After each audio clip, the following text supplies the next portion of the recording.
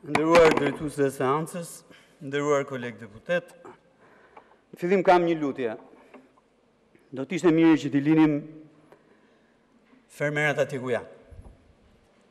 Edhe tani që ne jemi këtu në ajër të kondicionuar, ata janë në fusha temperatura që shkojnë deri në 40 gradë. Mos i asociojmë me kërkënd. Qoftë ky zyrtar politik, qoftë ky zyrtar administrativ, qoftë ky politikan që ka zbuluar fermerët më në fund, tani, në këtë moment. E dyta që kam, do t'i referohem dy fakteve, nga ç'dëgjova këtu në sallën e Kuvendit. I pari ka të bëjë me prokurimet publike. Vjen keq që kolegja deputete nuk është këtu tani, por tha që 90% e procedurave të prokurimeve publike gjatë vitit që shkoi janë fituar me 99% të fondit limit. Më vjen keq të them, po nuk është kështu. Për fat të mirë është ndryshe. Kursimi për vitin që shkoi nga prokurimet publike është 11 miliard e 290 milion lekë të reja. Që do të thotë diku ke njëqind e dymbëdhjetë milionë euro me kursin e sotëm. Dhe natyrisht, është nëntëdhjetë e një për qind kontratat e fituara, fondi i fituar është nëntëdhjetë e një për qind i gjithë fondit limit. E dyta, që është po kaq e rëndësishme, Në fushën e shitjes dhe të blerjes dhe dhënies me qira të pasurive shtetërore, dëmi ekonomik i deklaruar nga Kontrolli i Lartë i Shtetit në këtë tabelë është katërqind e njëzet e tre milionë lekë. As njëqind e tetëdhjetë milionë dollarë e as ku di unë më shumë se sa aq. Tani unë dhe ministrat e Bujqësisë nuk biem dakord për shumë gjëra, mbase edhe për gjithçka. Po një gjë po jua them këtu. Ministrja e Bujqësisë që keni këtu nuk ka dhënë asnjë metër katror tokë me qera. Dhe ky është fakt. Dhe unë s'i bie dot në qafë kërkujt tjetër.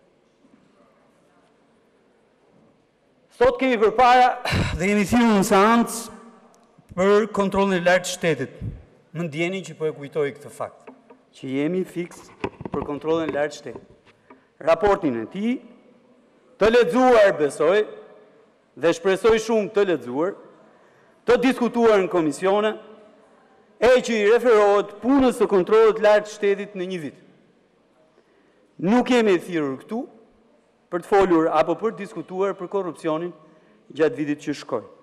Thënë këtë, unë mendoj që puna e Kontrollit të Lartë të Shtetit ka qenë voluminoze, ka qenë konkrete, ka qenë serioze, ka edhe cilësi, në harkun e këtij viti. E thënë të gjitha këto, patjetër që meriton edhe vlerësimin e Kuvendit të Republikës së Shqipërisë si institucioni ku kontrolli i lartë i shtetit raporton. Por thënë po pikërisht këto, as i shmangem, as i iki, as relativizoj të folurën për korrupsionin, edhe pse është një moment i vështirë, të paktën politikisht, Po edhe veçanërisht penal. E në fakt, kështu duhet të jetë. A ka korrupsion në këtë vend? Po, ka korrupsion në këtë vend. Madje është i përhapur deri në kufijtë e kulturës për të bërë para përtej rrogës, po mbi të gjitha për të bërë para të paligjshme. Ka në sektorin publik korrupsion? Ashtu siç ka edhe në sektorin privat, po aq korrupsion. Se është kështu, gjithnjë ka një përpjekje politike për të thënë e për të ndikuar fort në perceptimin e korrupsionit. Pra për të thënë që ai është gjithnjë e më shumë, gjithnjë e më i madh. A është korrupsioni sot më i madh se sa 10 vite më parë? Patjetër që këtu ndahemi. Një pjesë thotë që është më i madh, Një pjesë tjetër thotë që nuk është i tillë. Dhe po ju referoj. 10 vite më parë vidhej lehtë. Edhe me një certifikatë. Kur prodhohej si herën e parë dhe kur ta jepnin certifikatën si herën e dytë. Po vidhej edhe me risk, edhe me rrezik të lartë. Kur demontoheshin predha të kalibrave e dimensioneve të ndryshme. Patjetër, deri dhjetë viteve më parë, është shitur çdo gjë publike në një valë të dytë masive e pasurisë publike, si sektor, si sektor i tërë. Nafta për shembull, si sektor u dorëzua klientelisht. Në çdo vendburim deri në përpunim 10 vite më parë.